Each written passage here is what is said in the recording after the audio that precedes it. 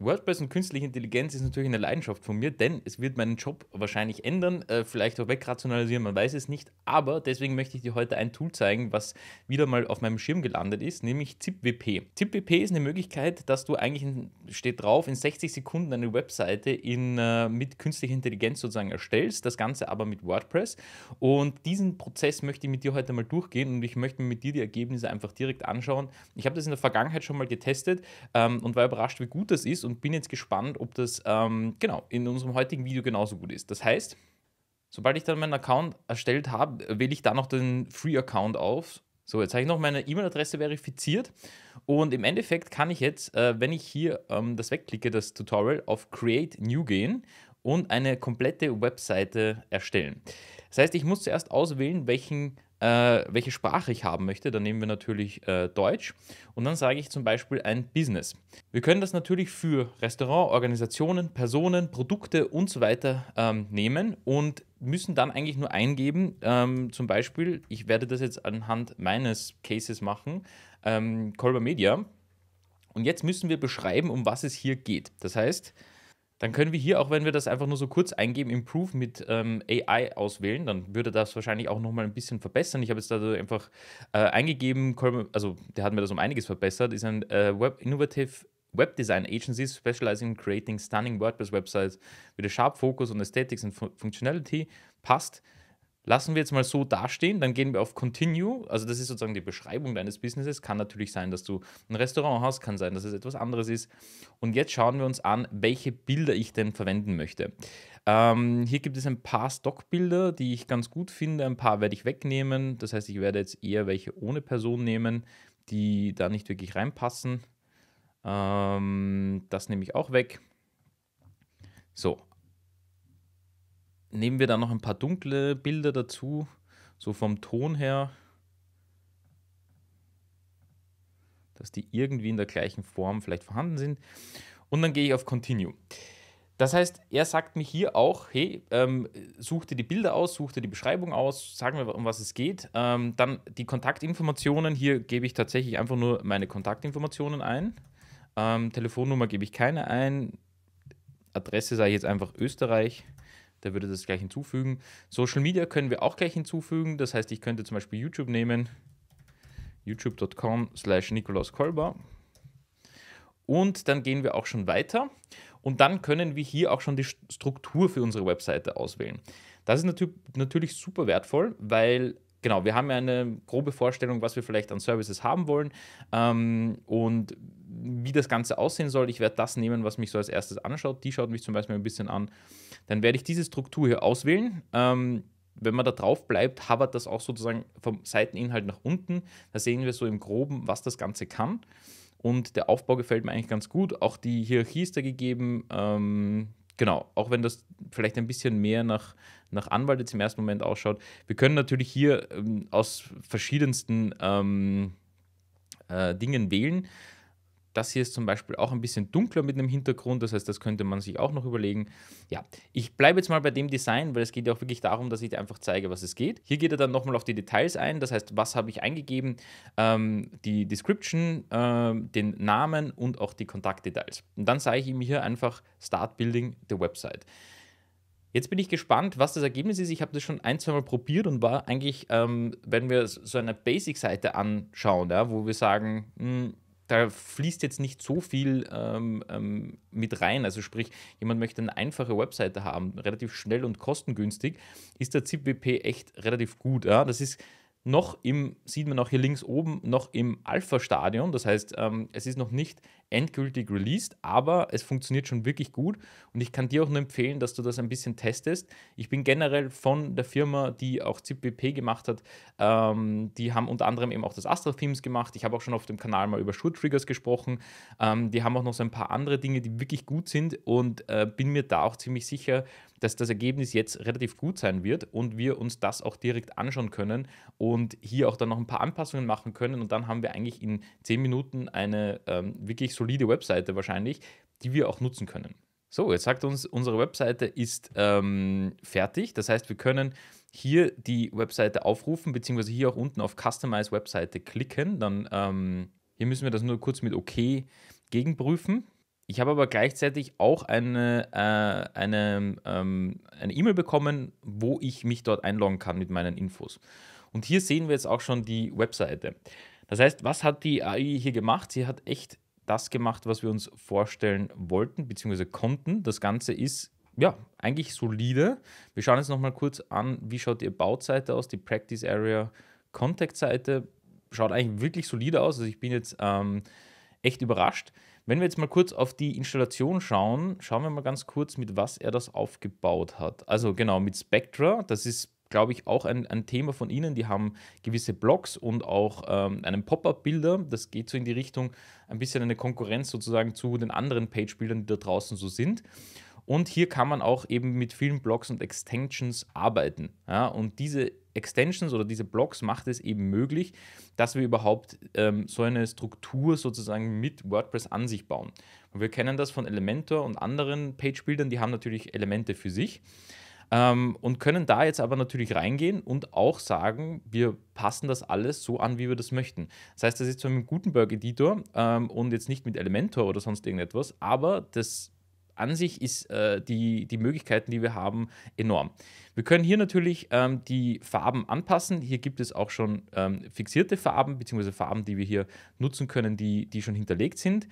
Wir können dann direkt den Text hier ändern, sagen, ähm, wir bleiben bei dem oder belassen das. Die Texte jetzt hier in dem Fall, obwohl wir gesagt haben, dass es German sein soll, ist jetzt auf Englisch.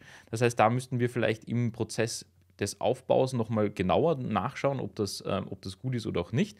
Können das jetzt alles anpassen, wie wir wollen ähm, und hätten dann eigentlich schon die Webseite an sich innerhalb von weniger als zehn Minuten fertig. Ja? Wir haben die Startseite, wir haben Kontakt, wir haben Practice Areas. Es ist eine einfache Webseite, die natürlich ähm, die hat als einzige Problematik vielleicht noch, dass wir uns echt noch ein paar Dinge überlegen müssen, dass das alles gut funktioniert, aber ansonsten ist das wirklich schon solide. Wir haben jetzt hier im Dashboard rechter Hand Move to Host. Was das heißt, ist, dass wir ähm, äh, diese Webseite auch exportieren könnten. Das heißt, wir könnten mit dem All-in-One WP Migration Plugin das installieren und die Webseite exportieren und dann im Endeffekt wirklich zu einem echten Hosting-Partner auch schicken, ähm, was natürlich eine richtig coole Sache ist. Und wir können jetzt uns auch nochmal anschauen, mit welchem Theme haben sie das gebaut. Wahrscheinlich auch, äh, genau, Astra. Ja, das heißt, sie haben Astra im Hintergrund und mit Spectra im, im speziellen Fall das nochmal aufgebaut. Wenn wir uns da anschauen, Spectra Plugin, sehen wir hier, das ist ein, ein kostenloser Bilder, ja, der sozusagen für ähm, das auch genutzt wird, was offensichtlich auch ähm, ähm, ZipWP hier nutzt. Wenn wir jetzt hier nochmal zurückgehen ähm, zu ZipWP, sehen wir auch hier, dass wir alle Seiten aufgelistet haben. Das heißt, wir können dieses Projekt Projekt hier auch nutzen, exportieren etc. Wir können auch eine ähm, komplette Webseite nochmal machen. Das heißt, wir können hier nochmal versuchen, ob er das in, uns in Deutsch auch nochmal ähm, äh, machen wird. Ich mache jetzt Restaurant und nicht mehr ähm, was anderes. Der Name wird sein Insta-Restaurant. Vielleicht müssen wir hier auch die Beschreibung reingeben. Ähm, ein einzigartiges Restaurant, das einzigartige Speisen aus aller Welt anbietet. Schauen wir mal kurz, ob wir das mit der AI ähm, improven können und vielleicht bleibt er dann auch beim ähm, ähm, deutschen Text. Insta-Restaurant ist ein kulinarisches, ja, okay. Vielleicht ist das auch der Fehler gewesen. Das geht da nicht ganz aus der Beschreibung raus, dass wenn wir ähm, das Ganze auf Englisch machen, dass das ein Problem ist. Ähm, jetzt haben wir die Bildauswahl nochmal, die werde ich jetzt mal so beibehalten. Ähm, Gehe hier auf, auf Weiter, sage auch hier nochmal teste test.de, ja, dann gebe ich dir nochmal meine Nummer rein. Adresse ist Österreich. Social Media lassen wir jetzt mal aus, wobei wir können, ja, wir können Instagram hier als Hashtag reingeben und können auch LinkedIn als Hashtag reingeben und auch YouTube als Hashtag reingeben, einfach nur damit wir sehen, wo diese Links hinterlegt. Jetzt kriegen wir dann wieder die Auswahl dazu, wo, wie das Restaurant dann aussehen könnte. Das heißt, wir können hier uns auch nochmal anschauen, was er da macht. Also das, was mir auffällt, es sind einfache Layouts, also sprich jetzt keine großartig spannenden Layouts, aber ich denke mir für ähm, den einfachen Vorgang, dass wir mal eine Grundstruktur haben, auf der wir aufbauen können, oder wenn man sich einfach mal anschauen will, in welche Richtung es gehen kann, finde ich das ausreichend. Ich werde dem jetzt kurz noch Zeit geben und dann schauen wir uns noch das Ergebnis von der zweiten Webseite an. So, nun ist die zweite Webseite fertig, die Restaurant-Webseite. Und ähm, hier gebe ich jetzt wieder den gleichen Prozess ein, dass ich einfach OK eingebe. Und tada, wir haben tatsächlich sogar einen äh, deutschen Text diesmal bekommen. Das heißt, achte bitte darauf, wenn du das Ganze jetzt dann ausprobierst, dass du genau die Beschreibung auf Deutsch reingibst, dann kommt das da auch dazu. Aber ich bin ehrlich, ähm, ich muss sagen, das ist abseits des Textes willkommen bei, ja, ähm, dass man jetzt anpassen will oder anpassen könnte. Aber da könnte man zum Beispiel mit ChatGPT nacharbeiten ja, und äh, dadurch sozusagen die Webseite nochmal solider machen.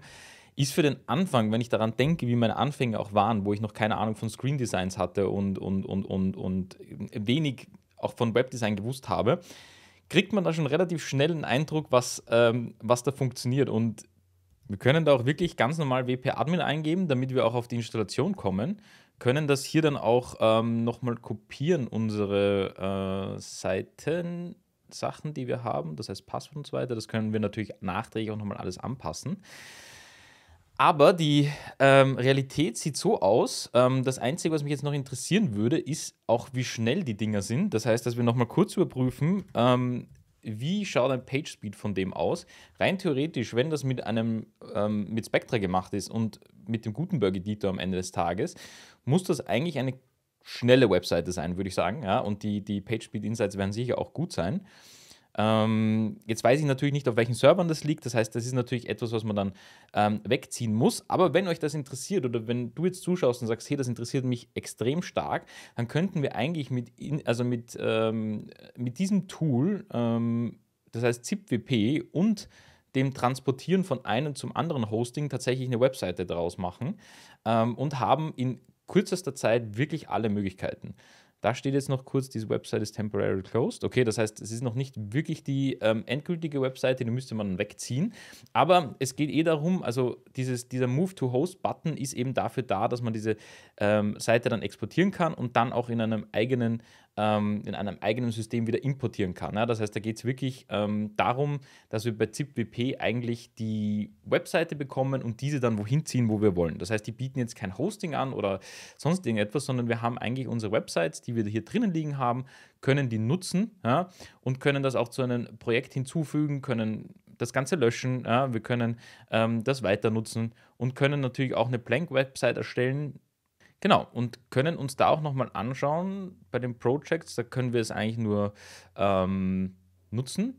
Und die Usage äh, ist hier mit Drafts, Sites und so weiter. Ja, das heißt, wir können hier den Plan, das kostet dann ähm, 399 pro Jahr, ähm, was jetzt unter Anführungszeichen nicht günstig ist, aber dafür, dass man kostenlos das Ganze mal nutzen kann, finde ich schon sehr gut.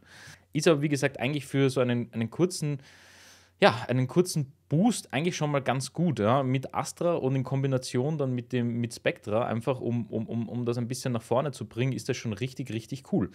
Ja, ich glaube am Ende des Tages, so als äh, wenn wir das jetzt uns anschauen, wir haben in kürzester Zeit eigentlich richtig cool ähm, etwas aufbauen können und können da wahrscheinlich auch mit diesem Material arbeiten. Natürlich ist der Prozess dann, bis das Ganze fertig ist, bis man das live geschalten hat und so weiter, trotzdem nicht wenig Arbeit. Aber es gibt einen diesen Initiativen Kick und auch die Struktur, an der man sich mal ähm, vor allem in kreativen Phasen, wo man vielleicht nicht so kreativ ist, vielleicht einfach behelfen kann, indem man hier eine Webseite aufbaut. Ja, ich hoffe, dir hat dieses Video gefallen und mich würde es auch sehr äh, oder ich finde es sehr spannend, wenn du mir unten auch in die Kommentare reinschreibst, hast du schon mit äh, ähm, künstlicher Intelligenz und AI bzw. AI an sich gearbeitet? Was sind deine Erfahrungen? Hast du Tools genutzt, die vielleicht spannend sind? Ich werde jetzt noch ein paar mehr Videos dazu machen und aber auch noch klassische ähm, Webdesign-Videos, die, die einfach die Branche auch natürlich betreffen. Aber ich bin immer gespannt, wenn es neue Tools gibt, dass man die ausprobiert. Gerade im WordPress-Bereich finde ich das super spannend. Ähm, ich werde auch in Zukunft noch mal ein bisschen mehr über WordPress und 6.4 sprechen. Und wenn dich solche Themen interessieren, interessieren, lass mich das gerne auch in den Kommentaren wissen. Und ich würde mich natürlich auch super freuen, wenn du diesen Kanal abonnierst und auch die Glocke aktivierst, damit du auch immer eine Benachrichtigung bekommst, ähm, sobald ich ein Video hochlade. Und ansonsten wünsche ich dir viel Spaß beim ähm, Erstellen mit ZipWP und wir sehen uns im nächsten Video.